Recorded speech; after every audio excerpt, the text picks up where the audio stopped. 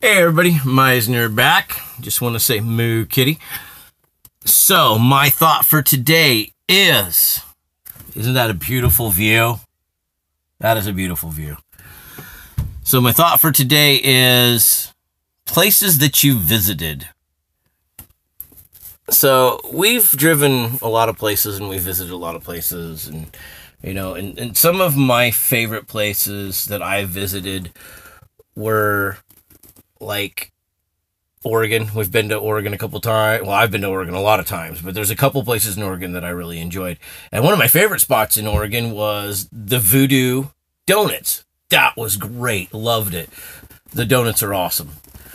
Um, another place was the uh, Emporium. It's like uh, it's like a horror emporium. Everything that's weird and, and crazy, and that was really cool too.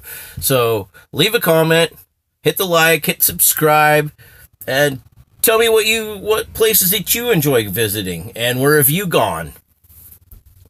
Love y'all. myzner out.